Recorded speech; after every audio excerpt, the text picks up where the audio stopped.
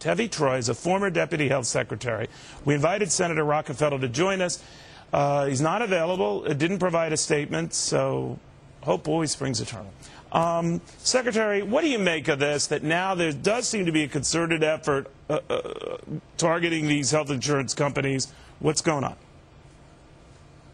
Well, I think um, that there was clearly a shift in strategy by the Democrats within the last month or so. They realized that there was a lot of concern about their plans, about the public option, about overly expansive and overly expensive health care. And they said, well, let's go back to basics. What's the most unpopular group, group out there? It's the insurance companies. So they've started demonizing the insurance companies. Nancy Pelosi was calling them evil and immoral on the House floor. I just wonder, but, but they're using their legislative powers to look into it. Now, I, am not cynical. Sorry? I'm not cynical, but I'm saying I wonder if the health insurance companies could have saved themselves this agita if they'd just written a check and gone along or started an ad campaign in, fa in favor of these reform efforts.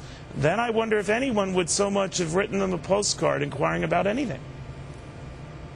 You're saying like the pharmaceutical companies did? Exactly. Um, look, Look, look, it's clear that um, at the beginning there was an attempt to have everybody on board the bus. So let's all sing kumbaya, get together, and let's have uh, people agree that we've got to do health reform. But once you start getting to the details, or once things start getting hot in the kitchen, people um, don't necessarily agree on everything.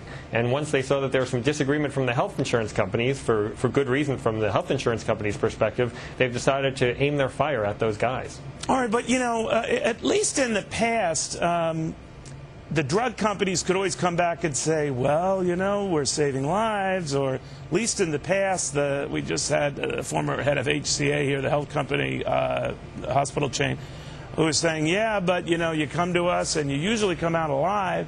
Uh, it, it, the health insurance guys don't have good PR because people think of pre-existing conditions that aren't covered. They think about portability insurance uh, problems. They think about the stories even the president tells about having coverage yanked at the last second. And uh, they can't get out of their own bad PR. Now, that actually, in reality, is a minority of the issues with these guys, but nevertheless, it's the image that sticks. What do they do? Well, you're right that they have bad PR, but you can always improve your PR. I mean, instead of talking about pre-existing conditions, you could talk about the millions of Americans who are insured by private insurance companies and who like their insurance. You hear something like 80% of Americans are happy with the type of insurance that they, that they have.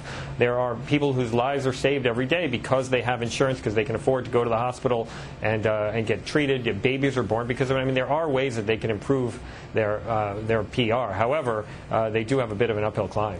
I always thought that the, the health insurance guys should turn it around and say, if you think things stink with us, imagine what it would look like if the government did what we were doing. They should actually work that negative into a positive. But I, I guess I shouldn't offer marketing ideas, should I? Well, that's actually a great idea because, I mean, the health insurance companies, they have a profit motive. You understand that what they're doing right. is for a reason. When government does these things, it's often arbitrary. And what people are concerned of when you talk about rationing, everybody does some sort of rationing in healthcare. The right. problem is if the government does rationing, it seems arbitrary and capricious, and that's what people don't like. Um, I guess the, the the, the, roving machine gun will just fire in another industry soon enough. Um, very good having you, Secretary. Thank you very much. No, thanks for having me.